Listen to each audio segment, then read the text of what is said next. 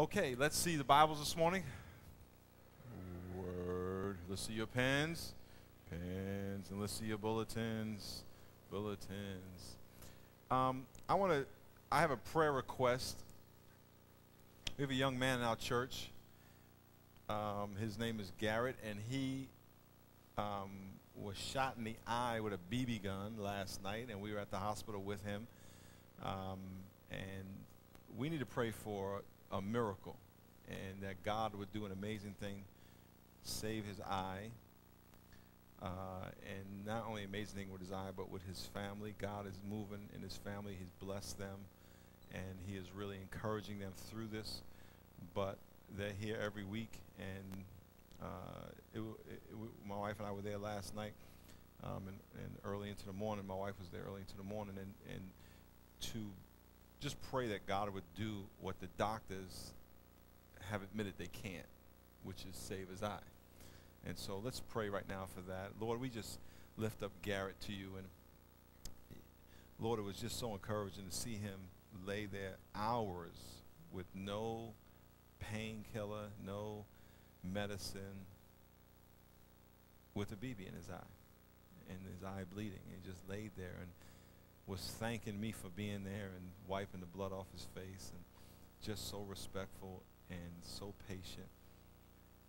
And uh, Lord, I we just pray that you would do what the doctors can't, and that save his eye, that he'll be able to see that when they take the bandages off after the surgery, they would realize that what has resulted from the surgery was not what they intended. It was even better. We pray you give his mom, his dad, his brothers, sisters, incredible peace through this. Can keep him strong. Um, I thank you for his mom giving testimony of how much peace she had supernaturally through this. And I pray you lift her up, keep her strong. In Jesus' name, amen. Excuse me. Turn to, please, Luke. Luke. Don't come over to the dark side. Luke 18.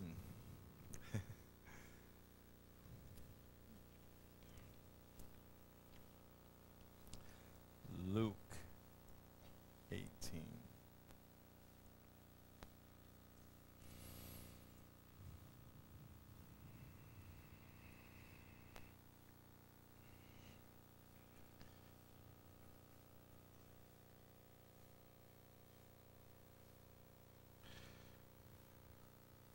Says in verse 1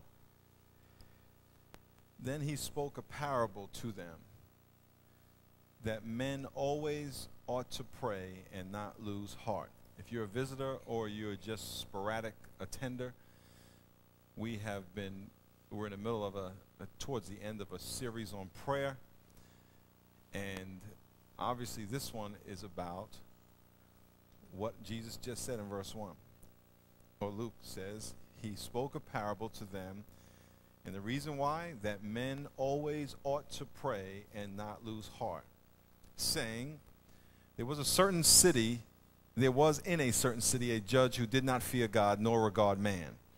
Nor there was, now there was a widow in that city, and she came to him saying, Get justice for me from my adversary. And he would not for a while.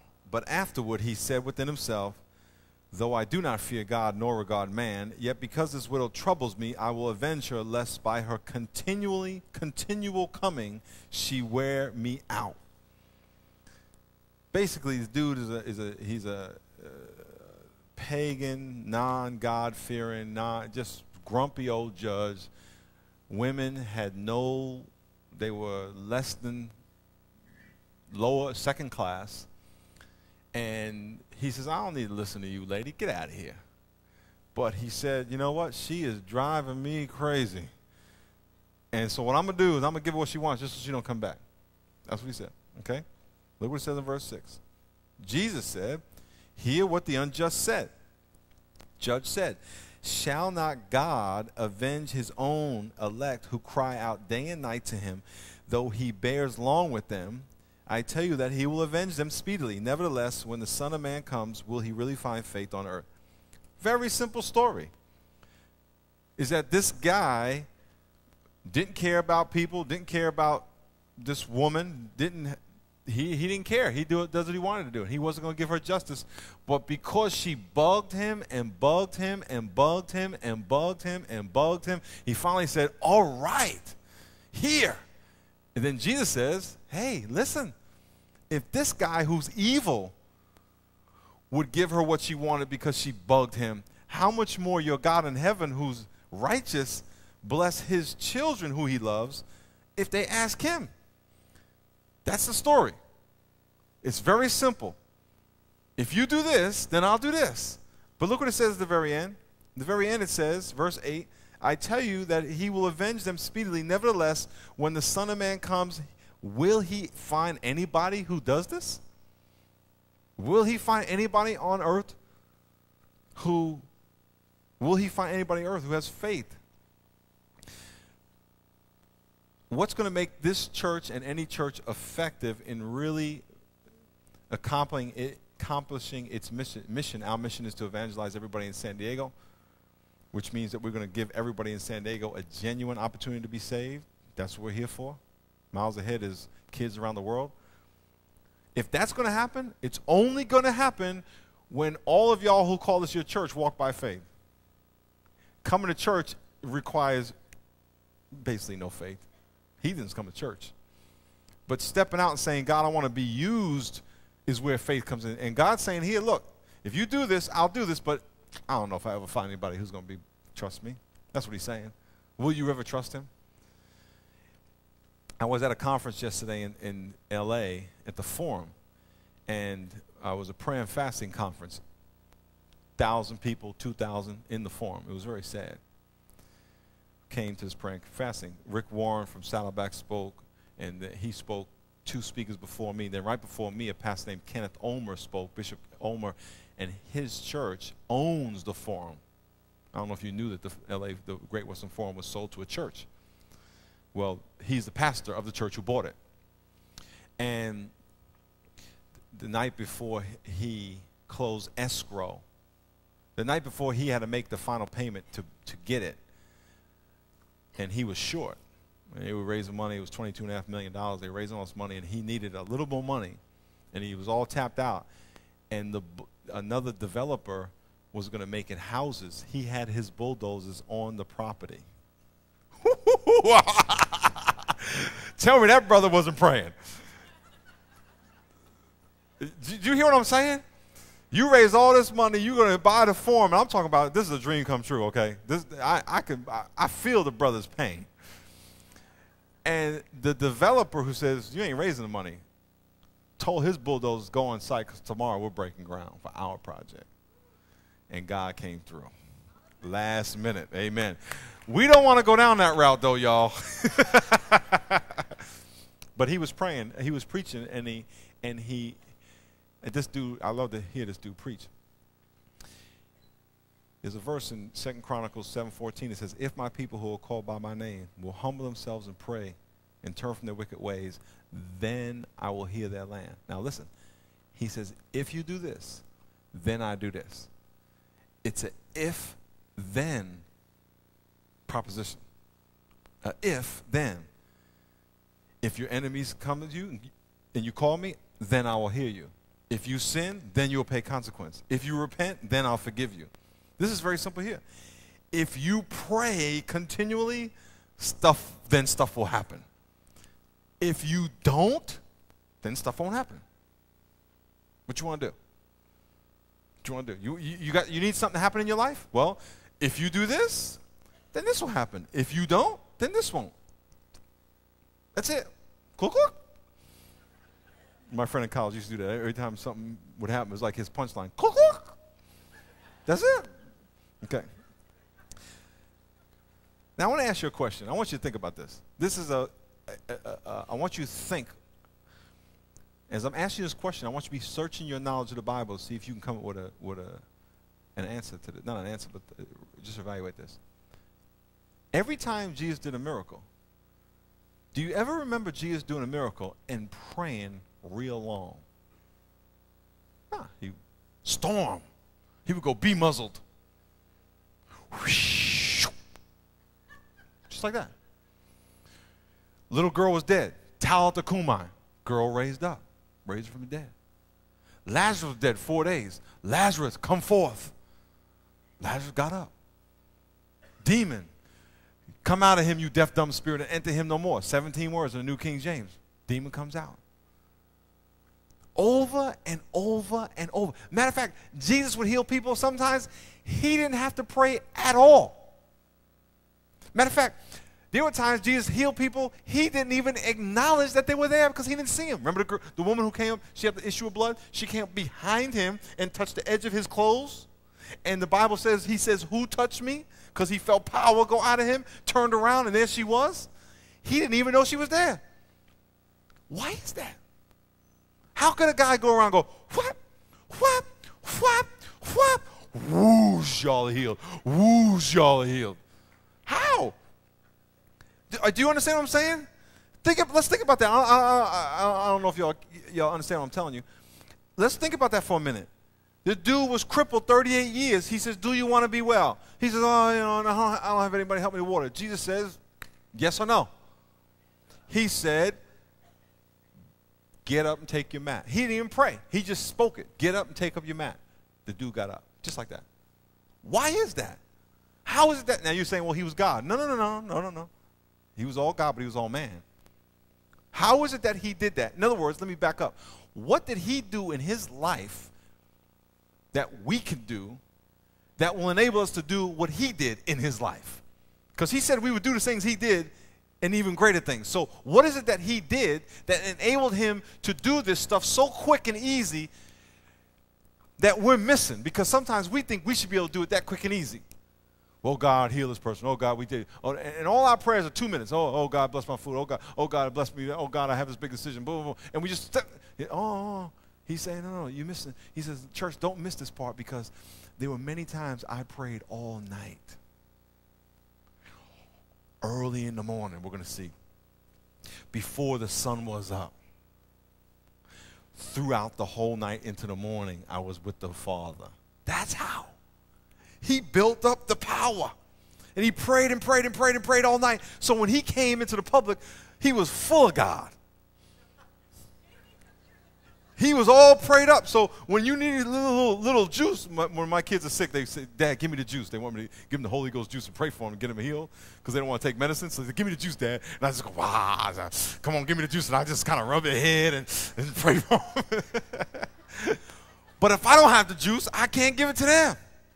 Let's read some, let's read some verses here. Turn to, turn to Matthew chapter 4, verse 1. Matthew, we're going to look through the, through the Gospels. Matthew 4.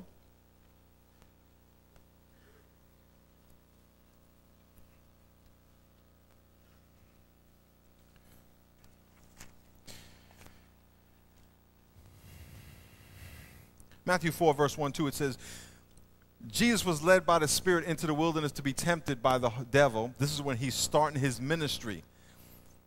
The Bible says he fasted and prayed 40 days and 40 nights, and after, afterward he was hungry.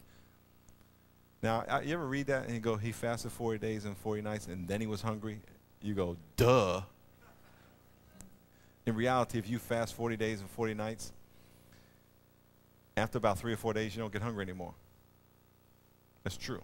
I mean, you get a little bit of a little hungry, you just take some water and it's gone. But it's true. If you if you can last that long mentally, physically, it's not the problem; it's the mental. The Bible says he fasted four days before he started his ministry. What did he do? He fasted and prayed all alone for forty days in the desert. Oh, you know how much power he had after that? Turn to Matthew chapter 14.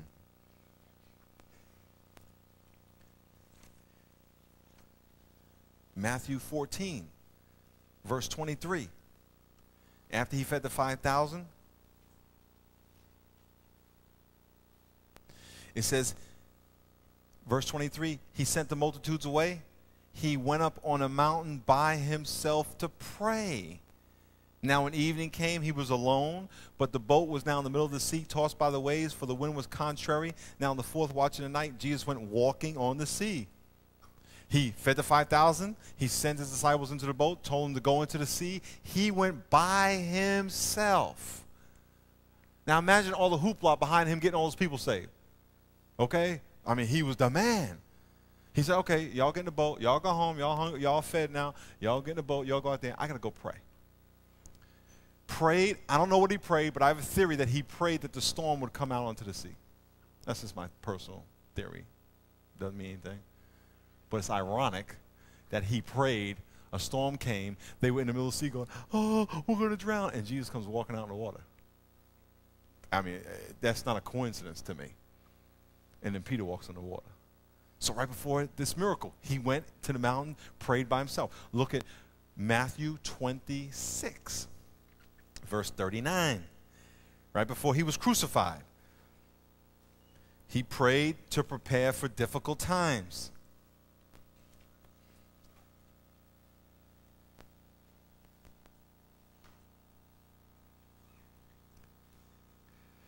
It says in verse 39 he went a little further and fell on his face and prayed, Oh, my Father, if it's possible, let this cup pass from me. Oh, my Father, I don't want to get crucified. I don't want to get nailed to the cross. I don't want to get my beard pulled out. I don't want to get my back whipped, thorns in my head. But then what he says, nevertheless, not my will, but as you will. Then he came to the disciples and found them asleep and said, Peter, what, could you not watch with me for one hour? Think about it. Three years he spent discipling these guys, teaching these guys, going through all kind of trials with these guys. He's getting ready to get killed. And he's over there praying, blood coming out of his head, sweat. These guys are falling asleep. You ever fall asleep talking to God? Anybody ever fall asleep talking to God? Be honest. Look at y'all. So, can you imagine meeting somebody how you doing? What's your name? Oh, my name is Miles. What's your name? Oh, Jim. How you doing? Hey, man, you know, I go to your church and you know, I listen to your sermons.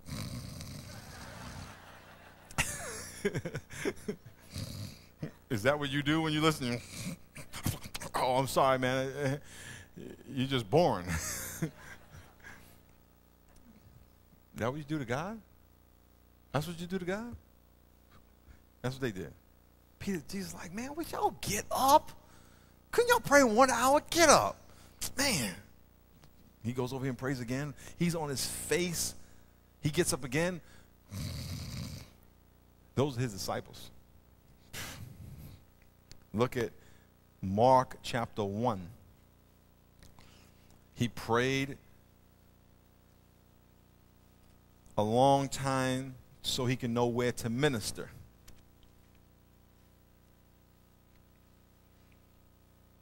Mark 1 35. Matthew, Mark, Luke, John.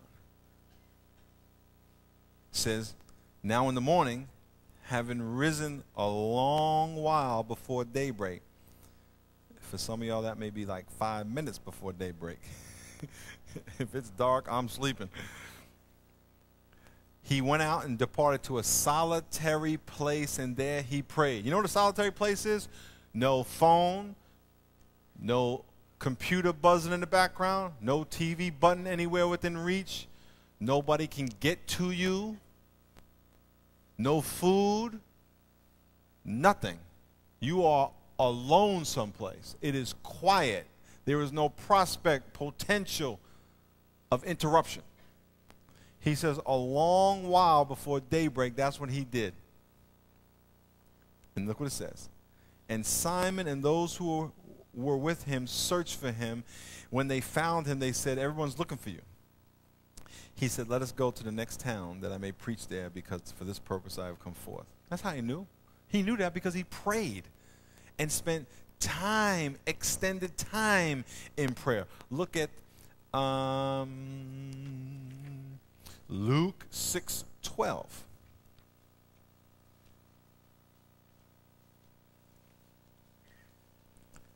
He prayed a long time so he can know who to choose for leadership.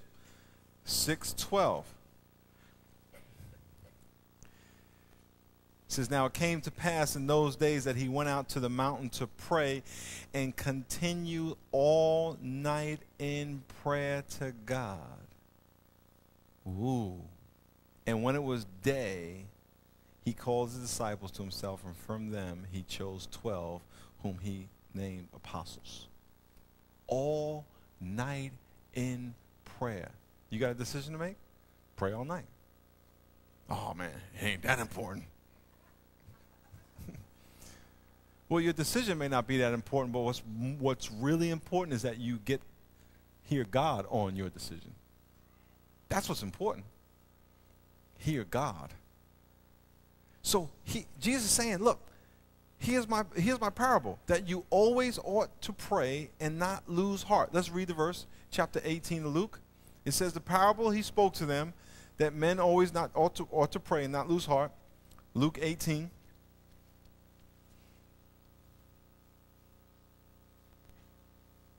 What a great sound. Hearing those pages turn. Verse 2.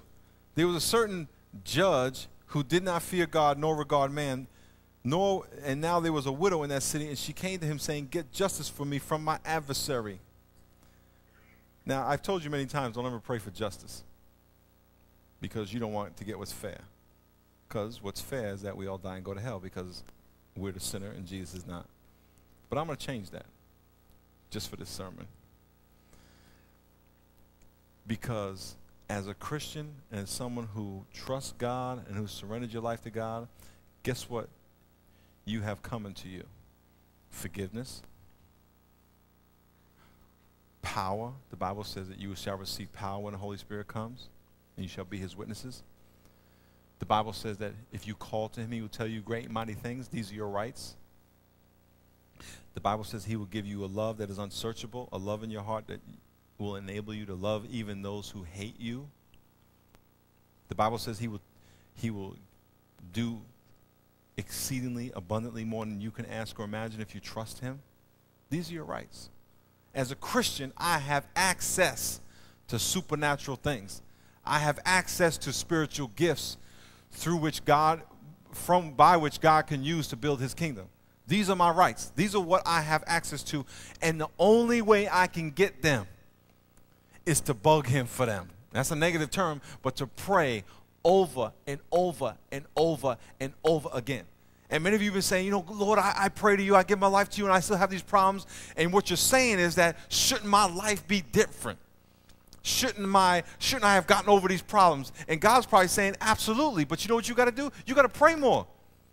Because you're going to pray five minutes here, five minutes there. That's just not good enough. I want you to spend more time with me.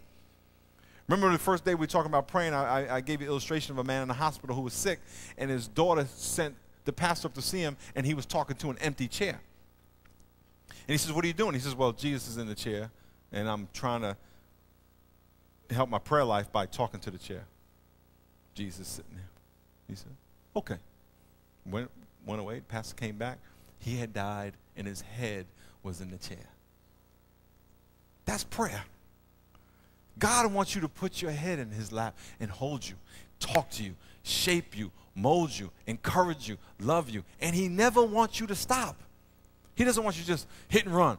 Give me this, God. Thanks a lot, God. I got a problem, God. I got to go. Got... No, he said, hey, hey, hey, spend time with me. You remember when you first met your first honey? Whether it was, you know, boyfriend, girlfriend, spouse, whatever. You remember that? You talk for hours about nothing. And then you kind of, you know, you, are holding the hand. You kind of, all right, I'll see you later. You don't want to let go. And then, and then you finally go, okay, see you later. What do you do? Well, back then, now you got cell phones, but when I was, you know, we didn't have cell phones, so we had to wait till you get home. And what do you do? You call them up. What are you doing? Uh, you just left. And then you talk some more. Then you get off the phone and then you write a letter. Then you, then you get the letter and you look at that picture. then you smell the perfume. then you go to bed and you dream about him. Then you wake up and you call him again. It's called love, I guess. That's what God wants to do. God wants you to talk to Him, talk to Him, talk to Him, talk to Him, talk to Him, because the more you talk to Him, He can shape you, encourage you, counsel you, change you, love you, and let me tell you something, you can never get enough of His love and counsel. You can't. You have to get to a point where you do nothing outside of God. That you are constantly trusting and depending on Him. Look what the Bible says in verse 2. The Bible says in verse 2 18, it says, There was a certain judge who did not fear God nor regard man. Now there was a widow in that city, and she came to him, saying, Get justice for me from my adversary. And then in verse 4, he would not for a while. But afterward he said within himself, I do not fear God nor fear man. But because this widow troubles me, I will avenge her, lest her continual coming to me, she wearies me out, wears me out over and over and over and over. Some of us have kids like that. Dad, you said. Dad, you said. Dad, did you think about it? Dad, did you make a decision?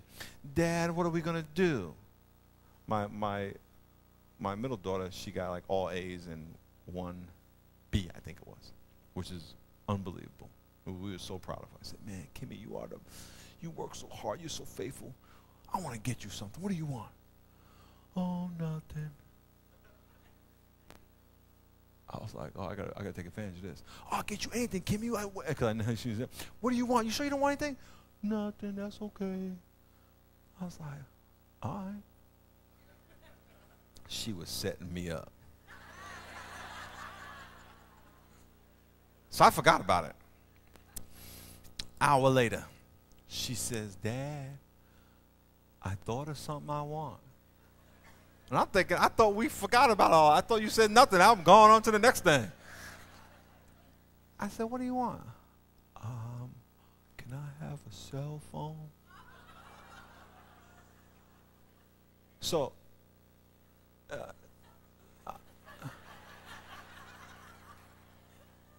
I said, Kimmy, you know, um, let me think about it. Well, for the next 10 days or so, she didn't bug me, but, well, she didn't bug me like my other daughter would bug me, but she reminded me constantly. And this is how she reminded me. She would go, Dad, and she would do this.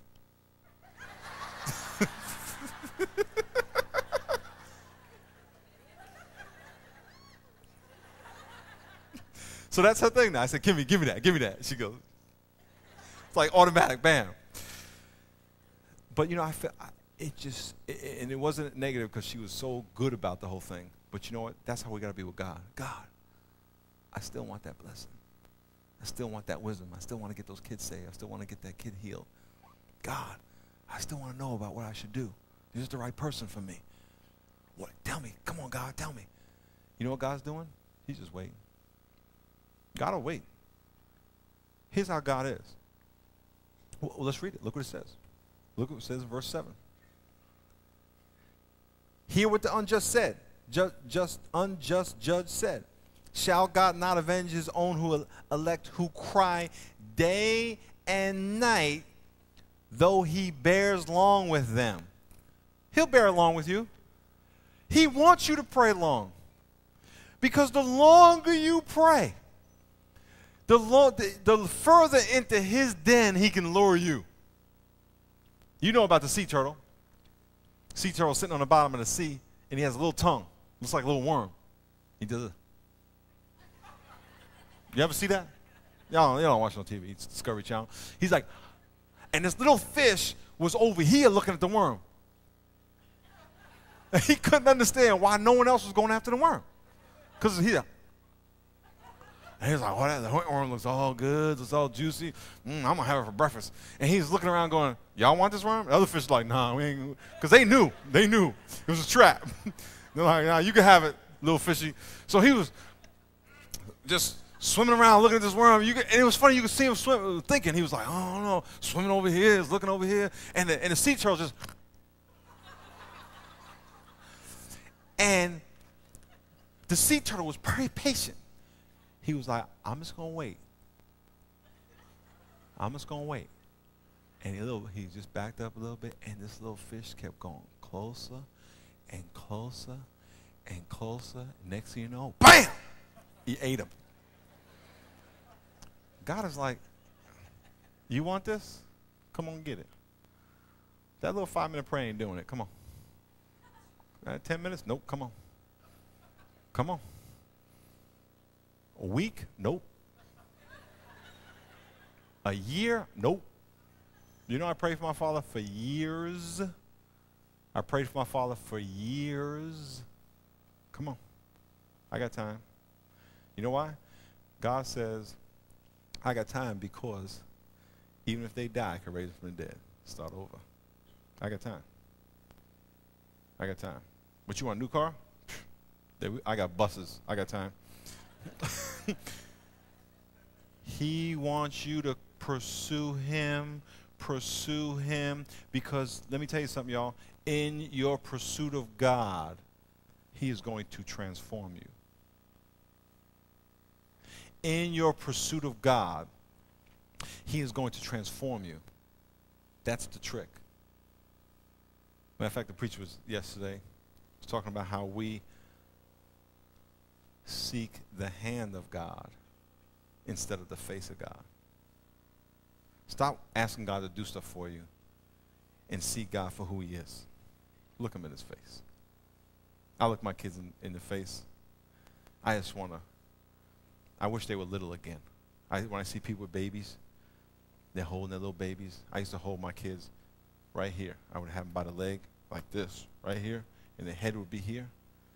I put them to sleep by doing this, and they would drool. I'd have the head hanging off, and they just slobber out that way. But I used to hold them like that and just walk them around, you know, at night when they would wake up. And now I try to do that. Their legs are all hanging this way, you know, it's so big. But that's as dad, that's what I want. I still want them to be able to sit and look at me. Don't give me, give me, just spend time with me. That's what God wants. He says, Come to me. Turn to Genesis chapter 32, all the way in the beginning of the Bible. Genesis chapter 32.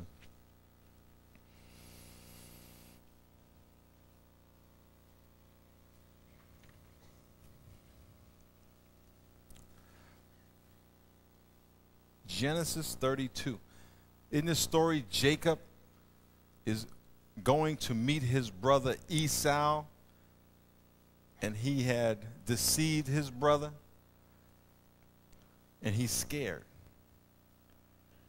And he sent his wives, his kids, his farmers, his animals to his brother ahead of him so his brother wouldn't be mad when he saw him. And the Bible says in verse 24 that after he sent everything ahead of him, he was left alone. And a man, the angel of the Lord, wrestled with him until the breaking of day. Prayer. And when he, the angel of the Lord saw that he did not prevail against Jacob, he touched the socket of his hip, and the socket of Jacob's hip was out of joint as he wrestled with him. And he said, Let me go, for day breaks. As the angel of the Lord said that. But Jacob said, I will not let you go unless you bless me.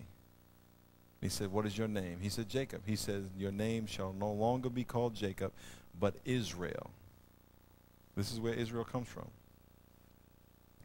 And he says, For you have struggled with God and man and have prevailed. Jacob had 12 sons. Those 12 sons are the nation of Israel, the 12 tribes of Israel, his 12 sons. He says, I'm not going to let you go until you bless me. Come on, man, leave me alone. This is an angel. Leave me alone. Nope. He dislocated his hip. he says, I'm in pain, but I'm not going to let you go. How many times have you prayed and something very simple would break your prayer? You're communicating with God Almighty. God has your undivided attention, and the phone rings. Okay, God, I got to go. God has your undivided attention, and you got this big, colossal problem. Oh, God, I'm a little hungry. I got to go oh, you know, I, I, I got to make sure I, I got my clothes in the dryer. No, no, no, no, no, no, no, no. That's more important to you than me. You need to wrestle with God. You need to grab God and say, God, I ain't letting you go. I'm not letting you go. God, today, November 11th, today, November 11th, I'm going to grab you for an hour and I'm not going to let you go. Tell God that. God, I talked to you a couple weeks ago about telling God you're getting to pray. God, I'm getting ready. I'm going to pray. Really, you're psyching your own self up. Here I come. Are you ready? Now, I got some stuff I want to talk to you about, and, and I'm going to, I got my Bible, I got my pen, my notebook, and I'm going to be here for a while. God's like, that's what I want to hear. Matter of fact, let's end with this. Get out your notes, and I want you to write something on here. Many of you know this acrostic or acronym, or, and I'm, but I'm going to give it to you anyway, because I know many of you don't know this. On your notes, if you could look up here for a minute, just write A W C I P A, or SIPA, down the left side of your paper. This is how you can pray for an hour very easily. A W C I P A. Un- next to A, write the word admire. Admire. Spend five minutes thanking God, praising God, acknowledging all the good things God has done to you. Don't pray to Him about anything else. Now, when you pray to God, it's very good to pray focused, one topic at a time. There was a, when I first started ministry, there was a, a couple of teenagers that lived next to my house, a 16 or 15 year old boy and his sister. She was 14. And when she used to come over to my house and talk to me, um, she would ring the bell. She was like 70 pounds. She was the skinny little itty bitty girl. And she would talk to me like this. Um, uh, well, and, um, uh, uh. And I would sit there and look at her like this. she was all over the map. Some of us pray like, God, like that to God. Dear God, I just want this. I don't know about this and this person. And God's like, Do you know what you're saying? don't do that. Just pray in topics. First topic, admire God. Spend five, ten minutes thanking God. And, and let me say this get a ring notebook, and every day put the date on it, November 11th, put an A, and write everything out. Dear God, thank you for this. Thank you for this. Thank you for my mom. Thank you for where I grew up.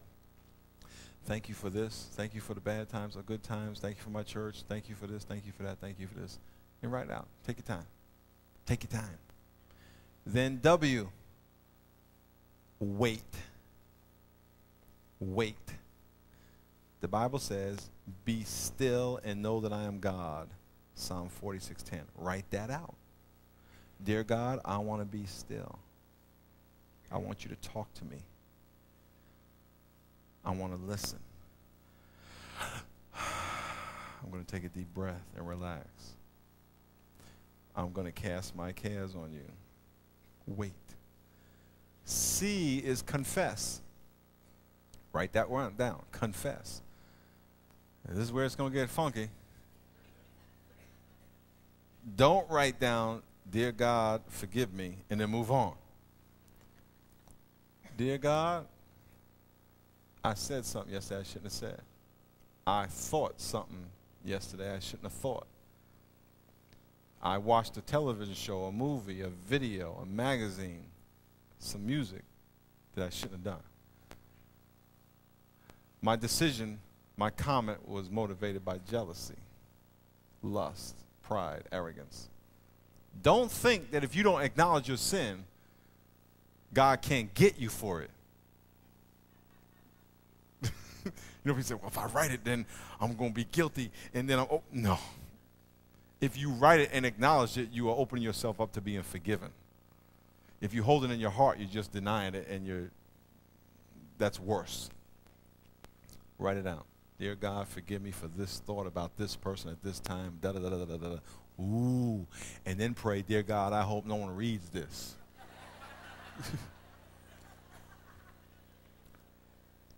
then you write an I. Intercede. Pray for other people. This is work. Prayer is work. Dear God, I pray for my wife, my husband, my kids, my parents, my neighbors, my coworkers, my employees, my employers, my competition, my enemies, the president, I pray for Osama bin Laden. Lord, I know the government don't know where he is, but I know you know where he is. Isn't that amazing? That brother can be not. How can we not know where that dude is? And he's giving videos and faxes. How is that possible? We are the most developed world in the nation, in the, in the developed nation in the world. And this brother's in a cave laughing. Lord, you know where he's at. get them.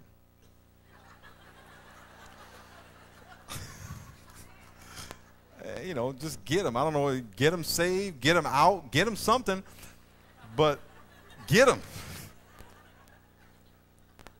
Lord, we pray for the, the Christians that are being held by the Taliban. We pray for, go to a hospital and walk the halls and pray for people. Go to the hospital and ask people why they're there. And tell me, I'll pray for them. And have people tell you, my little son, two years old, yesterday we were in the hospital when I was there last night. I don't know the age, boy's age. Got hit in the head with a baseball bat and his skull's cracked open. What's your problem? You can't get a car? This kid's fighting for his life? Go pray for people. Say, can I pray for you? People will let you pray for them. Pray for them. Intercede. You want a ministry? Pray. Pray for me. I need prayer. Pray for me. If you don't know what to say, just say, God, give him wisdom. Give him rest. Pray that I can have rest. Turn his mind off. Okay? I, and then a P. Petition. Pray for yourself. Now, you know, this is the hour right there. Okay, God, this is the part I'm real good at. God, I need wisdom. Solomon was the most wise man ever to live. He was the richest man ever to live, the Bible says. But when God told, asked, told him, Solomon, you can ask anything you want. You know what he asked for? Wisdom. Give me wisdom. That's what he asked for. He didn't ask for money. He didn't ask for women. He asked for wisdom. Gave wisdom. A W C I P A. A. Admire God. Thank Him again. Just thank Him. Say, Lord, thank you for this time I got to spend with you. Thank you that I have breath in my lungs. Thank you. My mind works. Thank you that I'm saved. You want to spend an hour in prayer? Go someplace, tie yourself to the chair, and say, I'm not leaving until I get through all sipper. Now, let me tell you something. I'm going to tell you something. It's gospel truth. Please trust me. If you do that, and if you do it every day, your life will be unexplainable. You'll be like this. Oh, you just. I, people ask you about stuff. You say, I, I, I just can't explain it. I, I ah. You won't be able to explain it. And here's what I'm going to challenge you. Let's try this. Do it for 15 minutes today. That's like three minutes a letter. That's nothing. Just do it three, 15 minutes. Write the letter, write your prayer, put your watch on for three minutes, and I promise you, you'll go longer. And then go to the next one, and go to the next one. Next thing you know, 30 minutes will go by, and you'll be like, and then ask yourself where you're going. What do you got to do that's better? Oh, I gotta, I gotta, I gotta watch ESPN. I gotta go to the store. I gotta go do laundry. You know what? I don't have anything to do that's better. You don't. Pray. A long time, all the time. And I'm to end with this. The devil works overtime to consume your time. Don't let him win. Because just like Osama bin Laden's in some cave laughing at us, laughing, and fools will know what they're doing. So the devil's laughing at us. Look at them. Watch me. Watch me. Watch me get them to stop praying. Call your friend up. Your phone rings. Put a little gurgle in his stomach. Make him think he's going to die if he don't get a sandwich right now.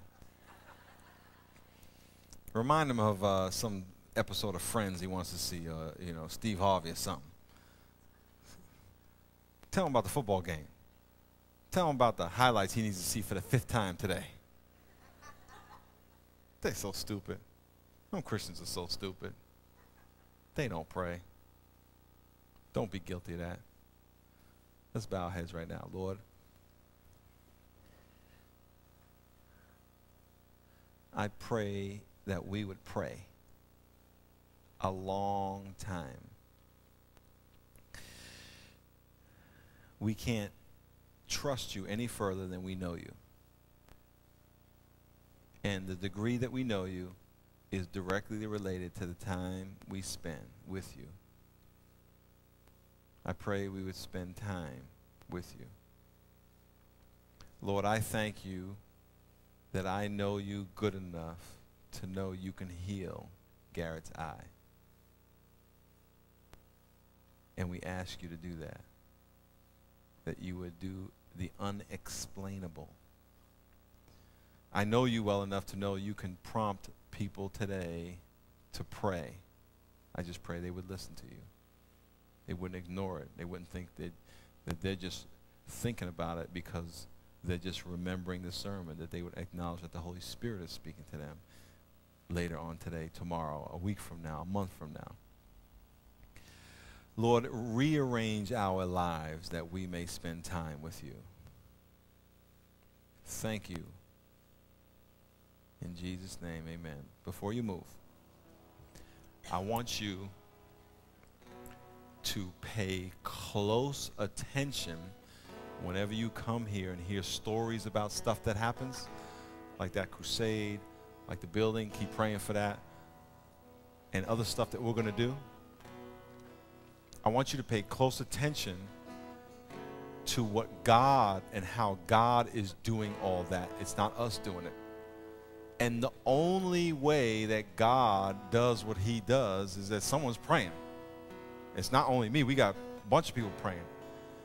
And when you see that stuff happening, don't think that it's automatic. Oh, we're in ministry, we just do it. It doesn't happen that way. It's the favor of God. If that crusade stuff was automatic, there'd be a whole bunch of people doing it, and a whole bunch of people are not doing it. It's because of God. That's what God told us to do.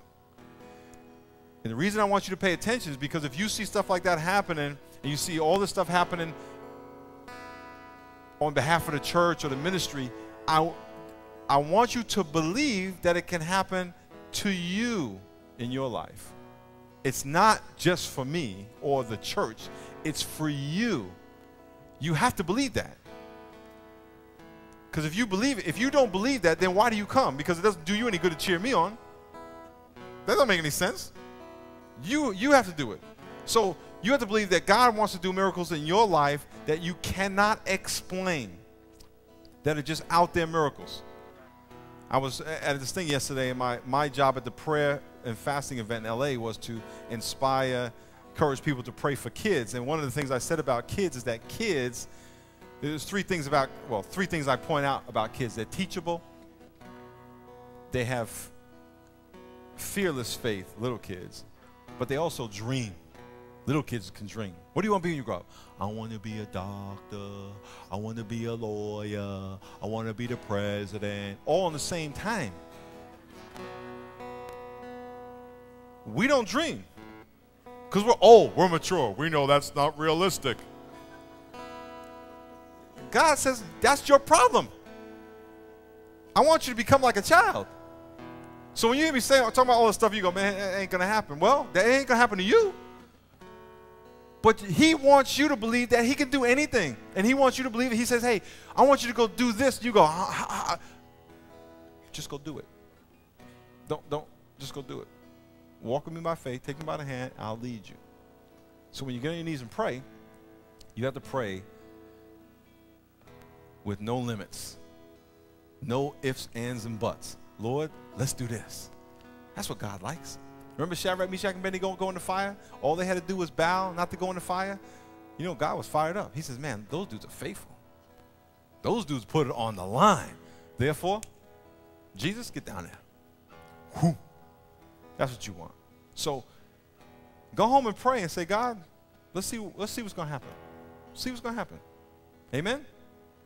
We're going to sing a song. I'm going to try to get down this